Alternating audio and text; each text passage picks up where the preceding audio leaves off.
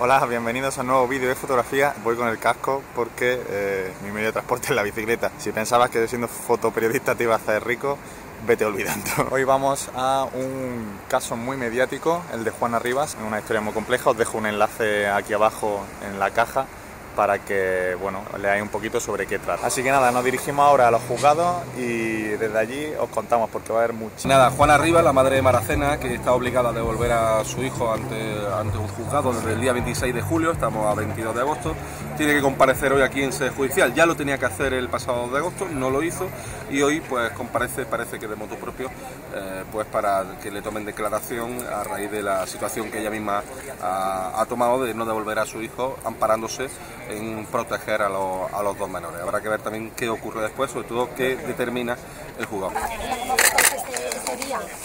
Empiezan los primeros empujones y las carreras para fotografiar a la abogada de Juana. Esas escaleras nos ponían el trabajo más complicado. ¿A quién se mata? La policía decide acordonar la zona para tener la situación algo más controlada, pero de poco serviría porque Juana parecía llegar por otro sitio. La confusión es grande y no sabemos dónde ir. Parece que Juana está dentro de un parking, pero quien sale no es ella, sino su hermana, y esto confunde más a los medios. esa?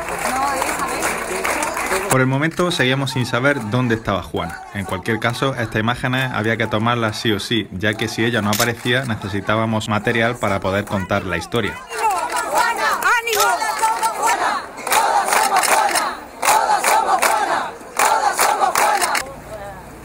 Tras una rueda de prensa de su asesora, descubrimos que Juana había entrado ya en los juzgados, lo había hecho en coche con la policía y por eso no lo habíamos visto. Esto también es la vorágine, una locura. Hay que correr mucho.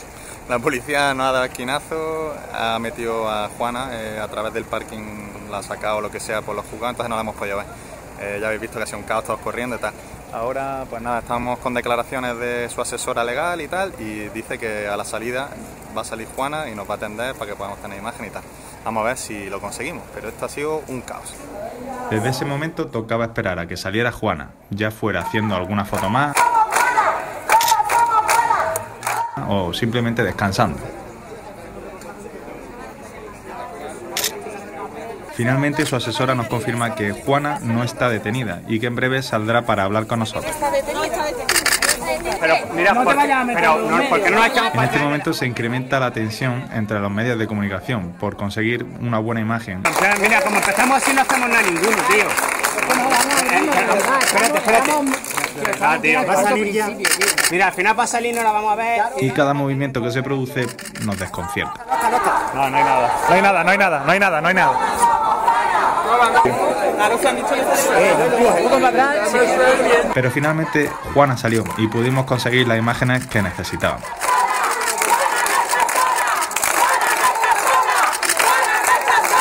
No, no, aguantamos, aguantamos, por favor. Y una vez que hicimos nuestro trabajo, le tocaba hacerlo a los periodistas. Tranquilo, tranquilo, tranquilo.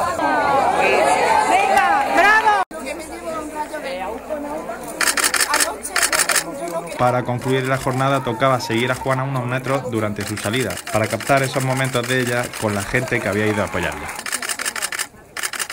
Pues después del follón que habéis visto que se ha montado, y después de unas 6-7 horas de trabajo que se dicen pronto. ¿Y las que quedan? Y las que quedan ahora para editar y mandar.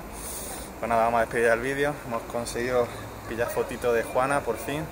Ha costado lo. Sí, 27 días después ha aparecido Juan Arriba en público. Eh, a ver que había mandado alguna foto hecha por ella y tal pero ha aparecido en público por primera vez y la hemos escuchado por primera vez después de 28 días. Lo que ha resultado es eh, sobre su incomparecencia. Entonces ha decretado libertad provisional, se sigue investigando la causa, pero ella, por decirlo de una forma que se entienda, puede salir, ya no tiene por qué estar escondida, no tiene por qué estar huyendo de la justicia como estaba hasta ahora y por tanto se sigue todo el procedimiento, pero sin que ella tenga que estar escondida ahora mismo eh, con sus dos hijos. Bueno, pues ya está. Que aquí lo importante era porque es de fotografía el vídeo, que la hemos pillado, ya habéis visto el follón que se lía y ya está. Aquí veis cómo trabajan los premios y cómo trabajamos nosotros otros.